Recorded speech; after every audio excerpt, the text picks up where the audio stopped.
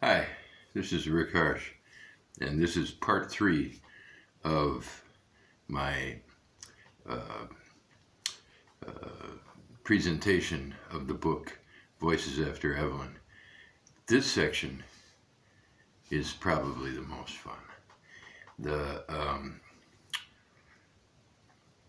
main point I'd like to get across, first of all, is that the discipline called anthropology, it could be argued, is the study of cultures that were slowly extinguished or shunted aside by a far less humane society, culture, civilization with far worse ideas that treated human beings inhumanely and still does and always will.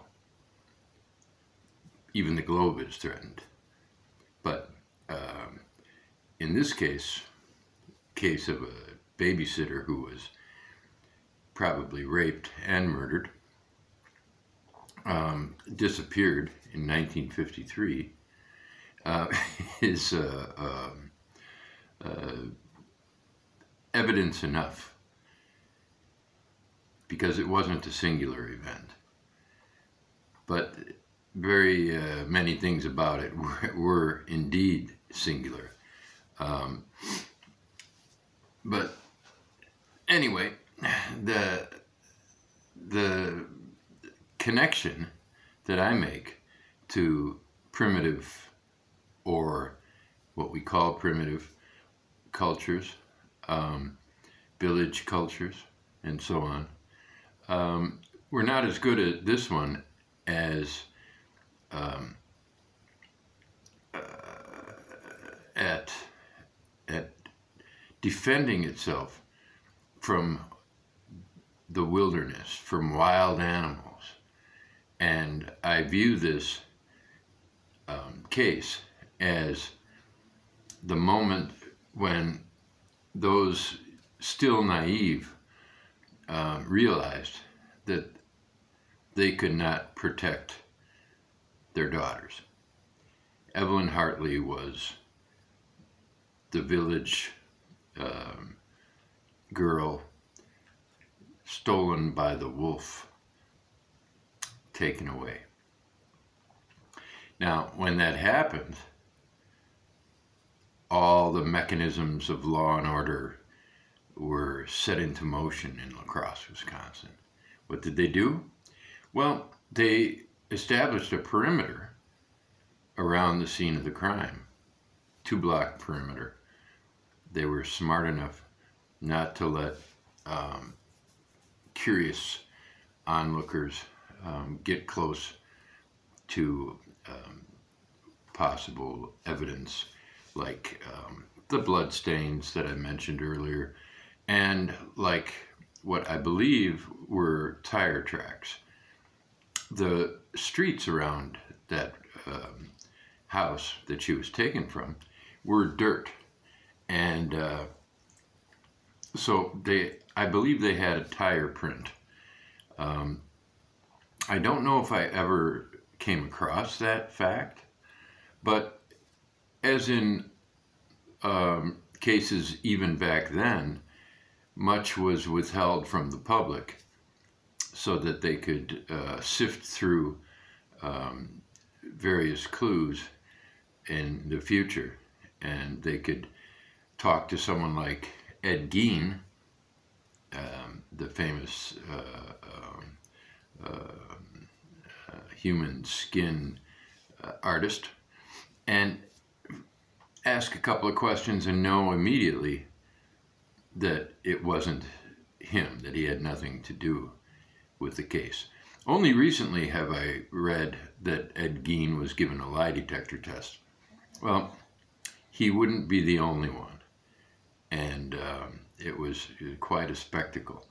But first thing that happened, the first thing that the police did was gather citizens to, I mean, besides studying the crime scene and um, finding evidence like um, uh, footprints and tire prints, and to uh, um, uh, you know whatever evidence they could get, blood types. They could only type the blood, and it was Evelyn's blood type and that of 40% of La Crosse that was found um, around the scene of the crime, wiped on nearby houses, and so on.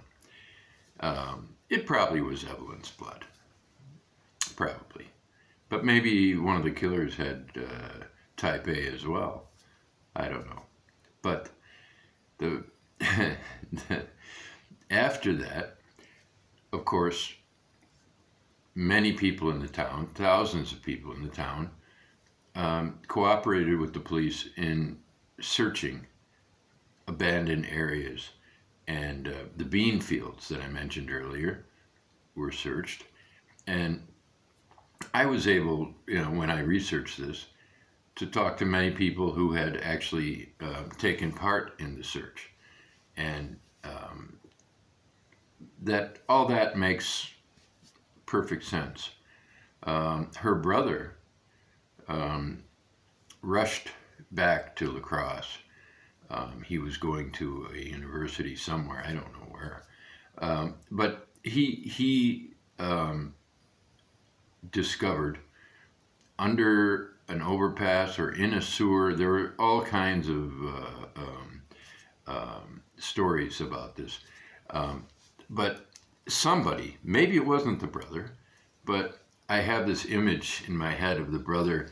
Uh, I read once um, that he he was um, looking through the sewer system, and he found um, a pair of underwear and a bra. And only recently have I come across the detail that it was stained with blood that matched his sisters.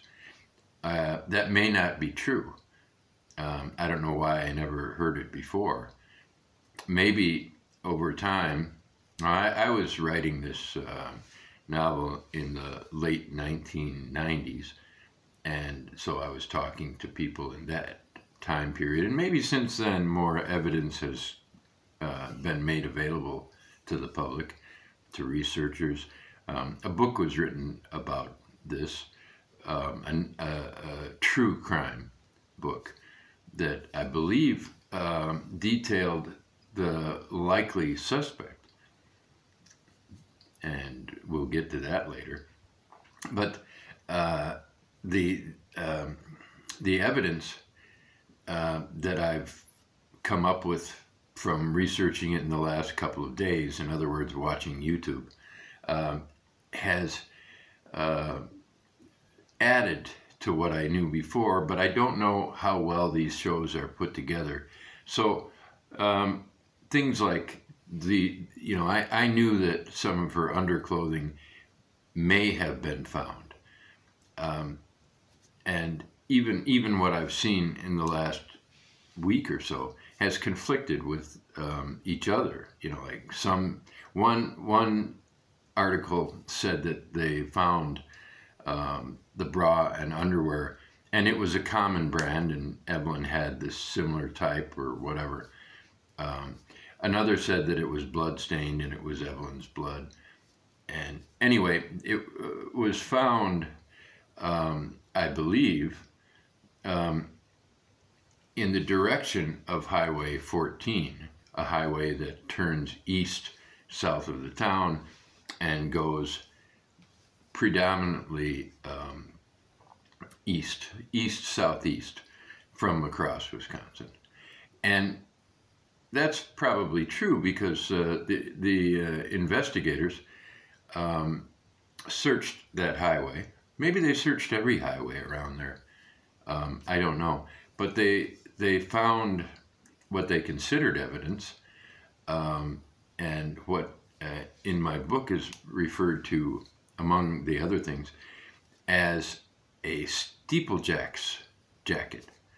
Um, there are more details now about that jacket. Now, now some say that it had blood on it.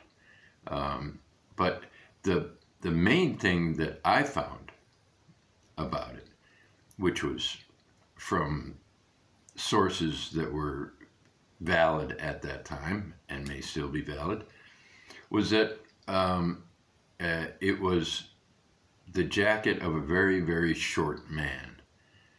Um, it had the wear marks of the kind of uh, um, straps that a steeplejack would use, and um, tool belts, whatever. I don't, I, I you know, I, I don't know.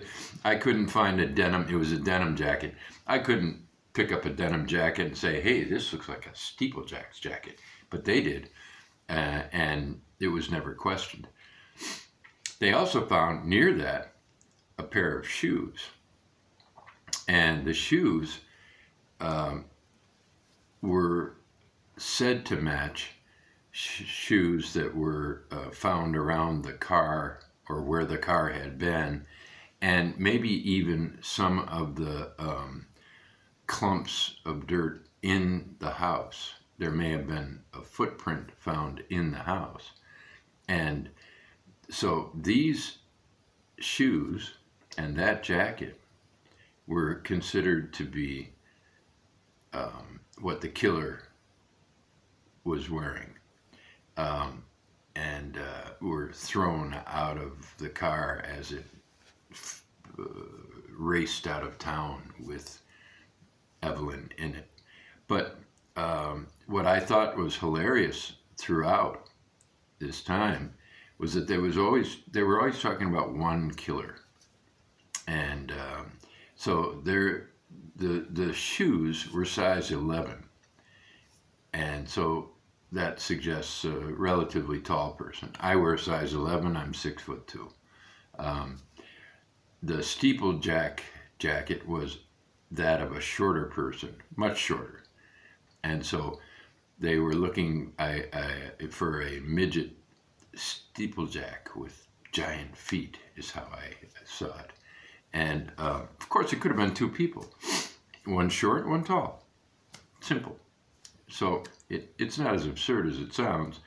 Um, although, from what I uh, found when I was looking into this in the late 1990s, was that there was really um, uh, no solid evidence linking um, the jacket and the shoes and um, so it, it it seemed very strange. But a um, after a short time, the investigation was turned over to a super investigator, um, maybe the head investigator of La Crosse County. I'm not sure. I don't know much about the person except that he was fucking crazy, and he was just insistent that these clues were valid, and these were the shoes of the killer. And the fun thing about the shoes, they look like Converse All Stars, um, but they had wear marks on them that were studied and found to be consistent with those of the um, what was known at the time as the Whizzer motorbike. And uh, um, the Whizzer motorbike was the kind, I guess you, you, you, it's got a motor on it. You pedal a little bit and the motor starts up and then you're more or less riding a motorcycle. So the Whizzer, the Whizzer motorbike rider, every, everybody who had one was a suspect. Everyone who bought one, they were looked into thoroughly you know, the, the one thing you could not say about the police is that they shirked their duty. They did everything they could. Um, but some of it was really bizarre. Primarily, my favorite is has to do with what I talked about in the last segment, where this organism of the town wanted to prove that it was innocent. And they went so far as to try to get a look at every single car that was driven in La Crosse, Wisconsin.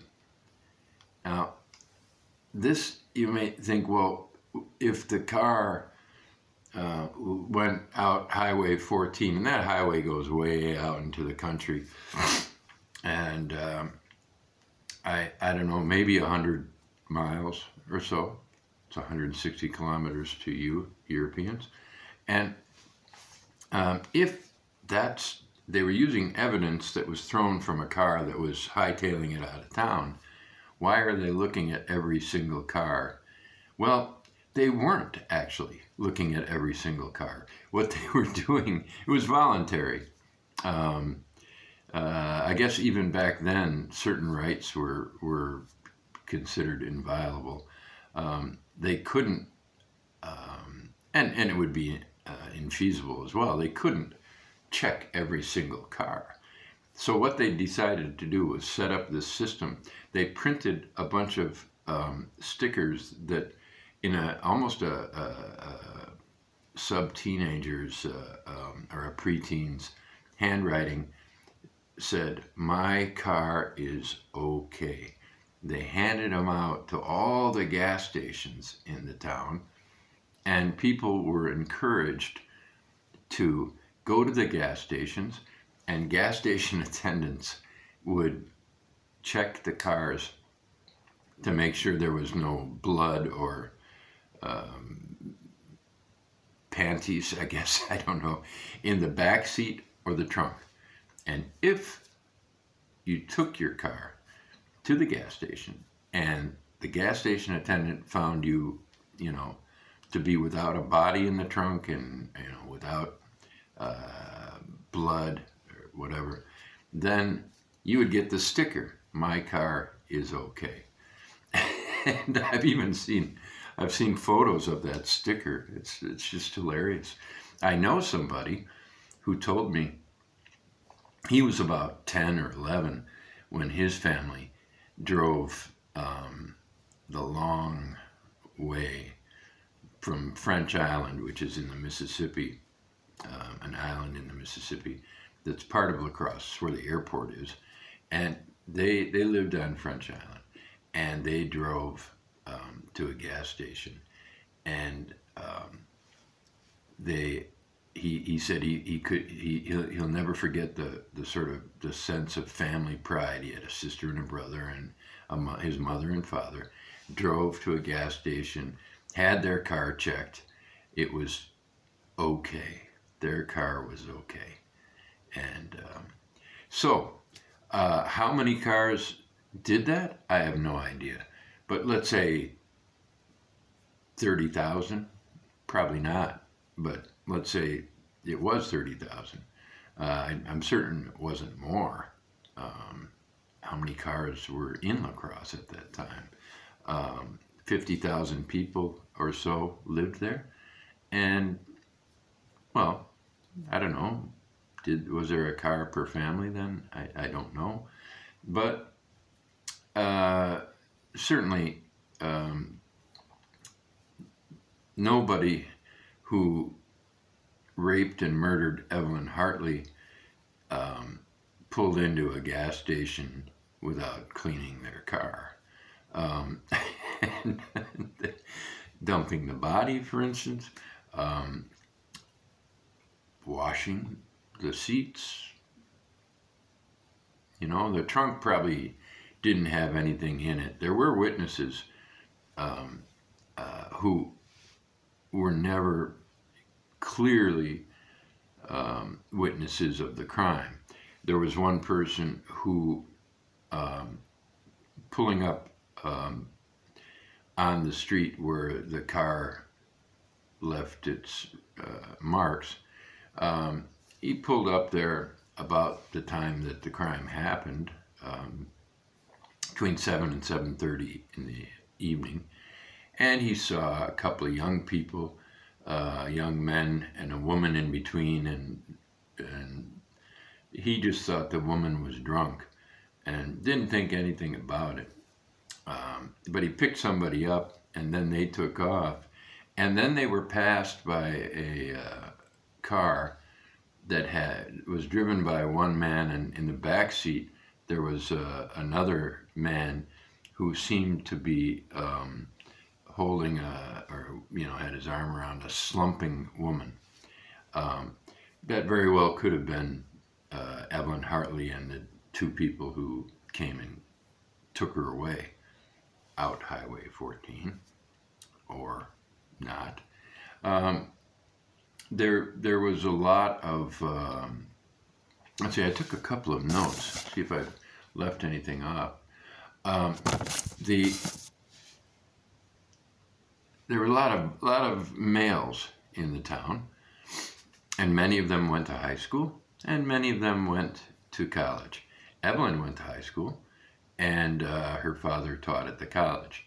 So, uh, this special investigator who came in decided to give every single student at the high school and the college, every male student, a lie detector test.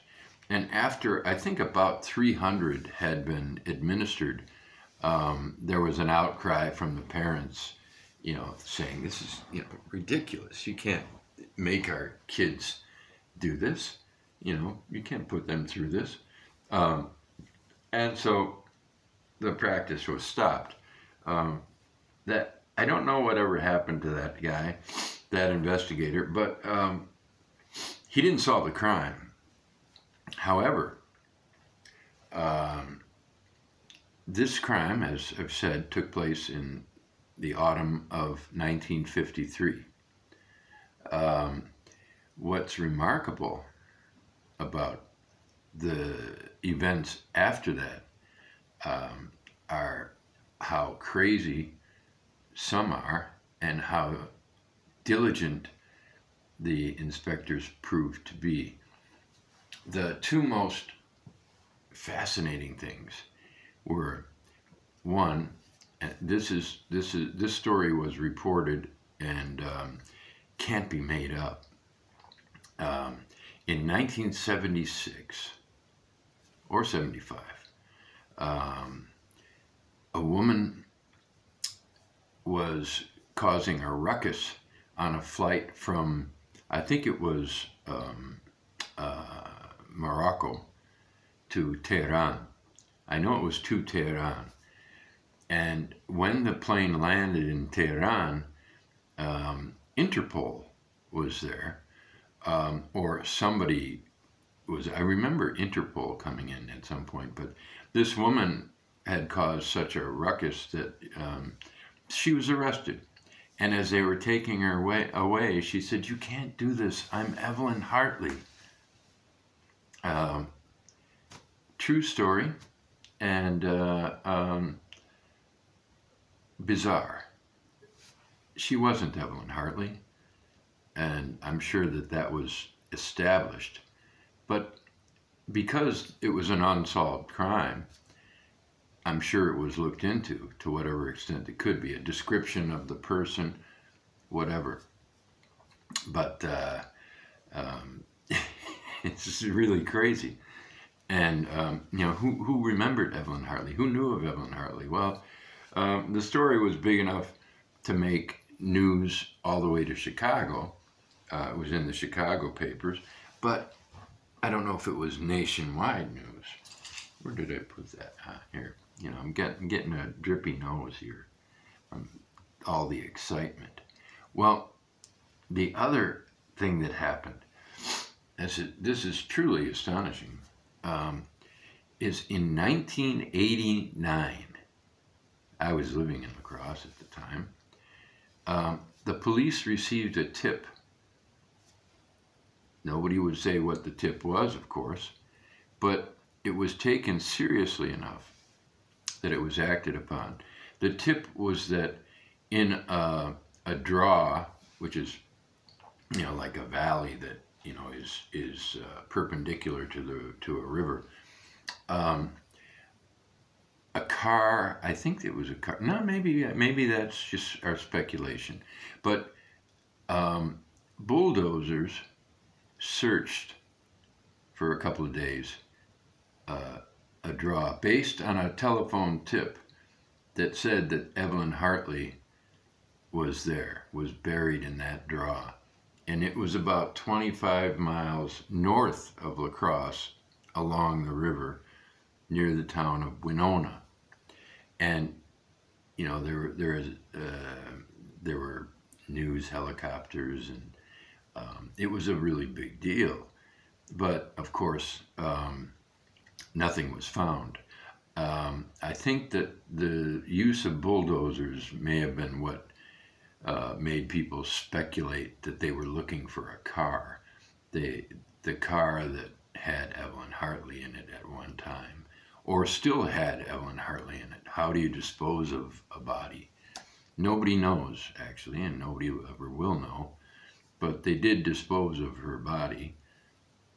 And uh, in 1989, 36 years after the crime, a phone tip led police to put that much uh, time and effort into looking for her body.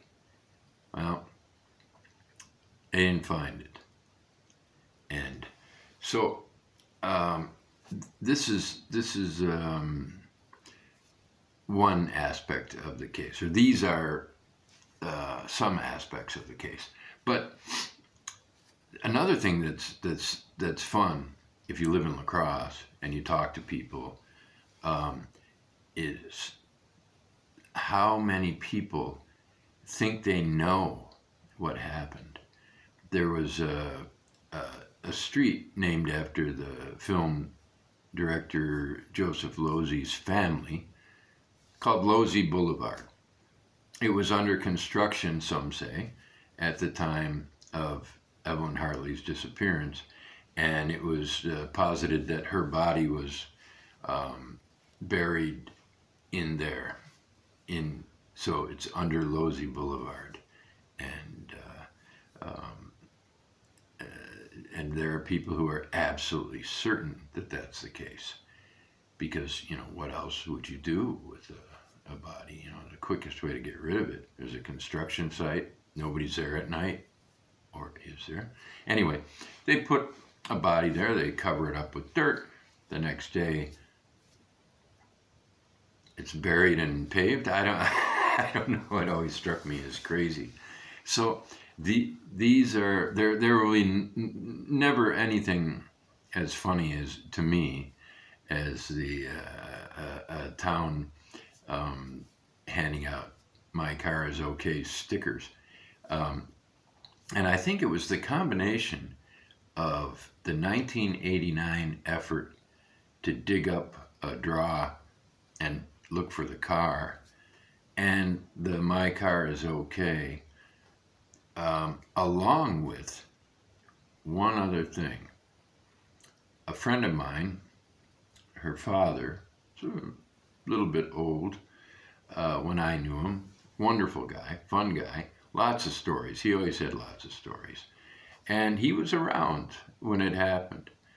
And uh, he talked about, you know, the, you know, how, how he was part of a search party and, you know, but I imagined him and he was a happy-go-lucky guy. He was a small man, but he was also a boxer in the military and had a good story about the diamond belt um, championship fights. And so somehow it dawned on me that he was my main character as a 30 year old.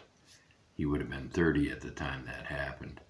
And so, um, and then I also thought, what would a reporter in 1989 um, have thought of that case? A lot of other bizarre things happen in La Crosse. It's a magnet for the bizarre. Uh, another thing that that um, came up in, during the time I was writing the book um, was that uh, a, a, woman was arrested for imprisoning her uh, husband in a sense. He was uh, kind of a down and out sort. Um, and he worked at the brewery. They didn't live all that far from the brewery. And um, there was a, at their home, there was an outdoor storm shelter. And she locked him in there um, when he came home from work. He was a janitor at the brewery. And at some point, you know, he was always he was always kind of messy and you know so on, and uh, people were kind to him at the brewery, um, but it turned out he was living um, in a storm cellar uh, that, that was locked when he came home from work, and that story coinciding with the other story, the the draw and then imagining this wild and funny guy. Um, uh, I won't mention his real name here. Probably I could, but no need. Anyway, that coalesced and got me started writing the novel because you know the what's most fascinating about most crime stories, uh, or what fascinates us the most, is the mystery and the mystery being solved. And, you know, we, we're all suckers for stories and uh, perverse stories, weird, you know, stories. And, um, and we want answers. And here was one that had no answers other than what I've already suggested, which is it's a violent country and it can't, and our civilization itself is a violent civilization and it cannot, it produces many victims and it cannot protect its own daughters. In the United States, they can't protect their own school children. They won't. Um, you, you know how that functions, of course. But in this case, I thought it would be um, interesting to um, find out as much as I could about the town, and I did find out a lot of interesting information. And so I wrote a novel. And in the next, the fourth segment, I'll talk about um, the characters I chose to use to present this novel. Um, I've given you one, and in the novel he's called Bobby. He's 30 years old. And uh, we'll get to, uh, this is considered a somewhat transgressive novel. Well, what could be more transgressive than raping and murdering a babysitter?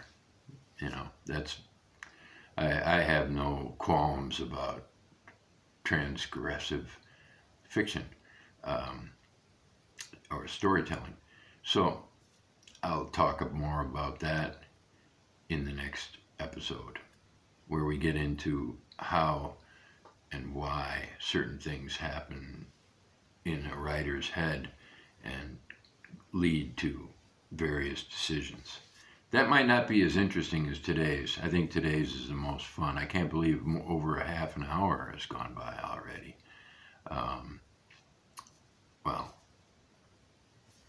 you probably are asleep by now, so, you know, thanks for trying.